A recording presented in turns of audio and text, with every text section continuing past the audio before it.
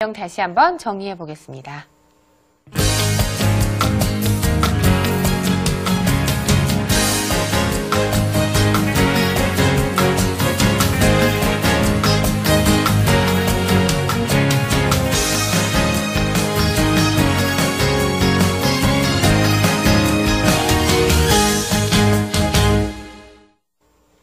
네, 이것만은 알고 두자 절묘한 맥 시간입니다. 자, 오늘 맥은 어떤 맥인가요? 그야말로 한칸 뛰는 맥인데요. 네, 지난주에 이어서네요. 신선한 문제예요. 네.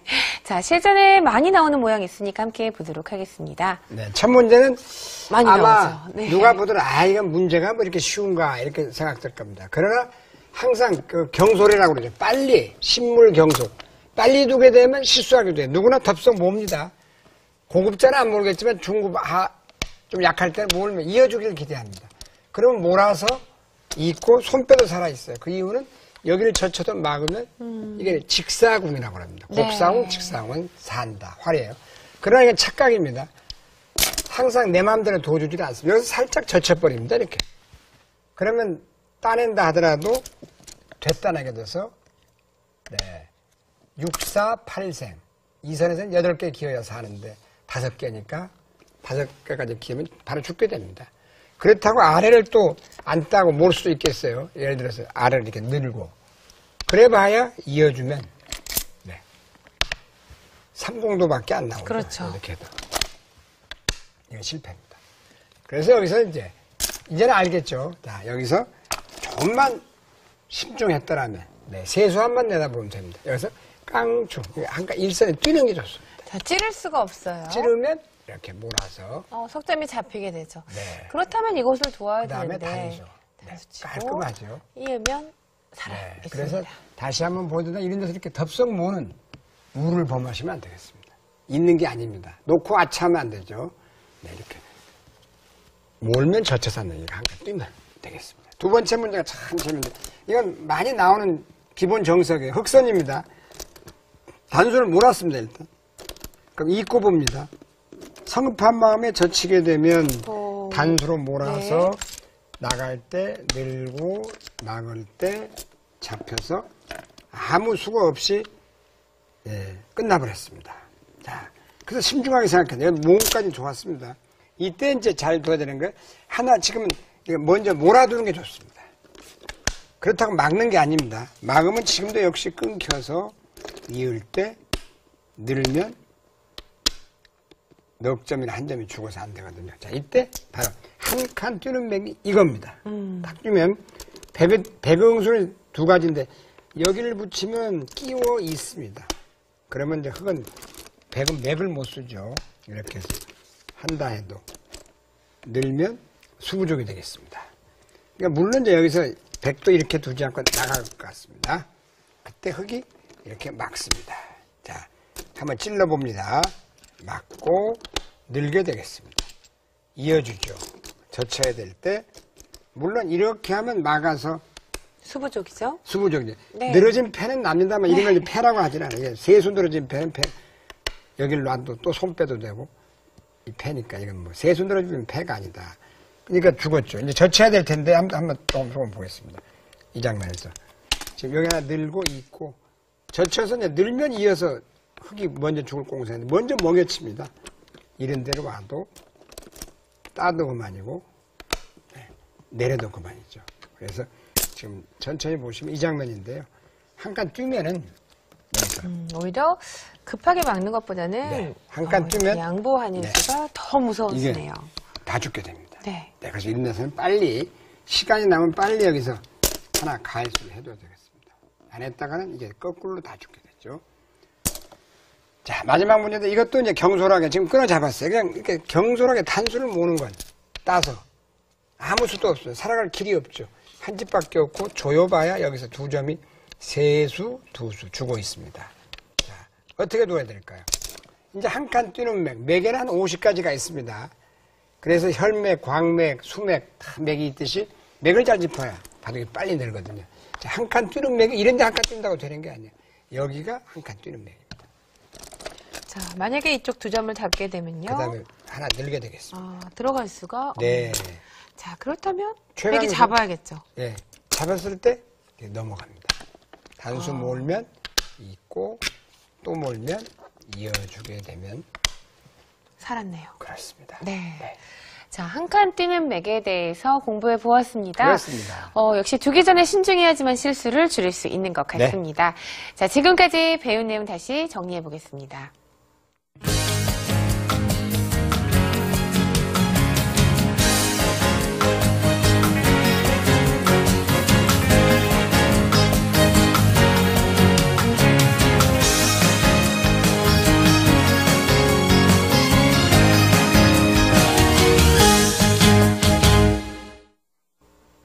네, 끝내기 문제를 풀어보는 시간입니다. 뭐 끝내기 중요성은요, 사실은 초보인 분들보다는 네. 중급, 고급자 분들에게 더더욱 중요할 것 그렇습니다. 같습니다. 자, 끝내기 문제 함께 계산도 해 가면서 네. 풀어보도록 하겠습니다. 보통 아마추어 네. 경우 상수하게 30집을 이겼는데 졌다 다 이렇게 역전. 당하게 하시는데 네. 그런 것이 바로 이제 그 끝내기의 묘입니다. 자, 이런 장면입니다. 가장 여기서 흙이 평범하게 두는 걸 보여드린다 그냥 이렇게 날일자로 가는 거예요. 자, 이런 그 다음에 맥은 네, 입구자 올라와서 네, 이어서 만족입니다. 여기 집지어서. 그러면 이것도 젖혀 있는 것도 나중에 거의 100억 원리예요. 젖혀 있는 후수가 되니까. 그러면 이 집이 8집, 9, 10집 젖혀 있는다 당한다 해도 10집이 강하게 났습니다. 이렇게 되면 실패입니다. 지금 10집이 나 있는 모양입니다. 그러나 이제 여기서 강수를 한번 띄워보겠습니다. 지금 여기서 이런 정도 간다 해도 예를 들어서 이렇게 이제 2등수가 있는데요. 그리고 들어가서 예를 들어서 이제 이렇게 젖히면 쑥 들어가는 게 기분 나면 이렇게 해서 이건 후수인데 후수기 때문에 조금 전보다는 벌었지만 여기도 다섯 일곱 집이 나서 후수라도 별게 없어요. 자, 여기서 이제 흙이 최강수를 한번 멋있는 수를 보여드려요. 일단 먼저 치중하는 게 기가 막힌 수예요. 어, 네. 자, 뭐 예를 들면 이런 식으로 버텨버리면요. 그러면 이제 이렇게 단수를 몰고 이을 때 웅크리고 젖힐 때요. 이렇게 하면 이제 늦은 패는 납니다.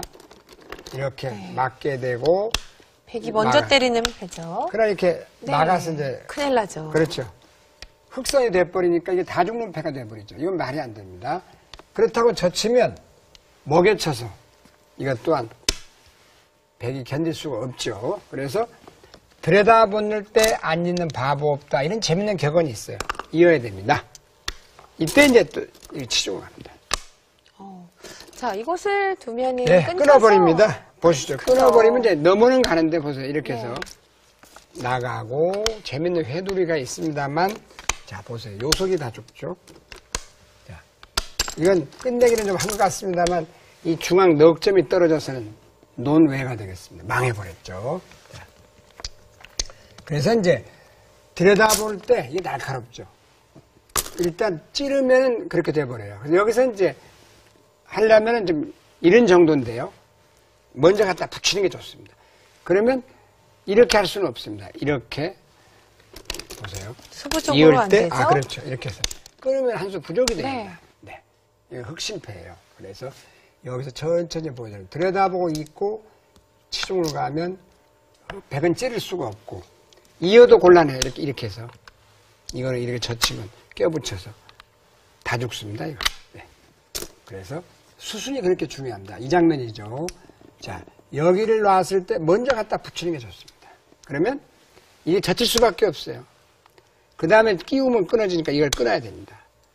그 다음에 있습니다. 어, 있는 것까지 됩니까? 네. 이으면 자, 여기서 나가고 나가면 큰일. 나요. 나가면요. 역으로 여기를 가버립니다.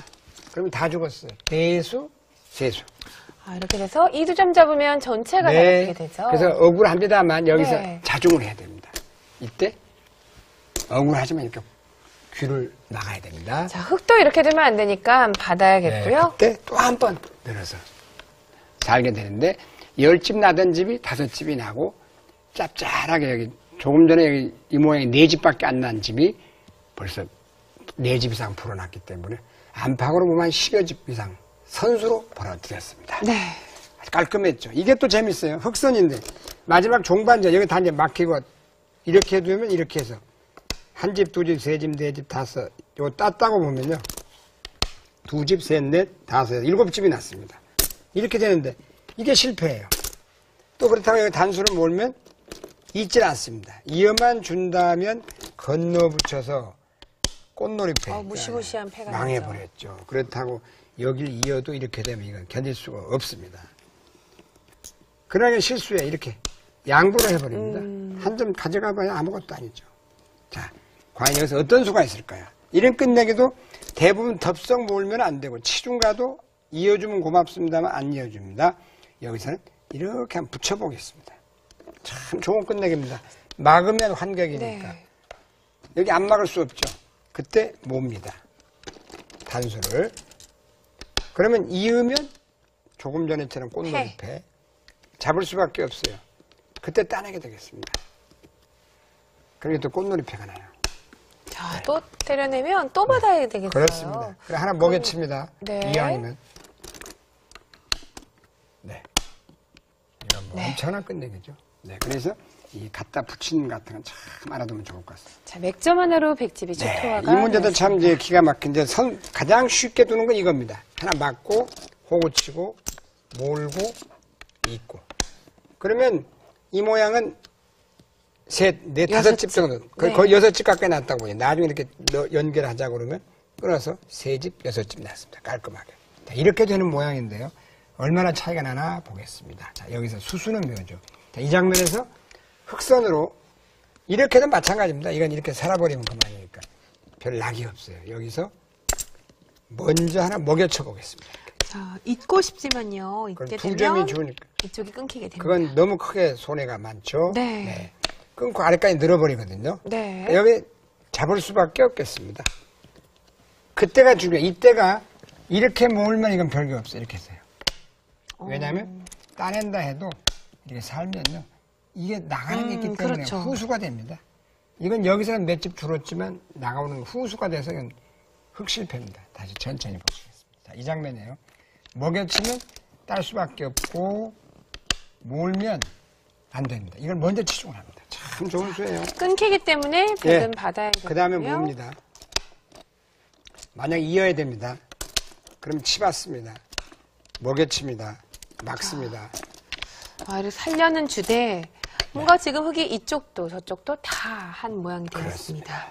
자, 정말 이 끝내기 하나로도요. 한 부분에서 뭐 많게는 몇십 집, 또 그렇습니다. 적게는 한 집, 반 집으로도 네. 들여볼 수가 있습니다. 네, 지금까지 배운 내용 다시 한번 정리해 보겠습니다.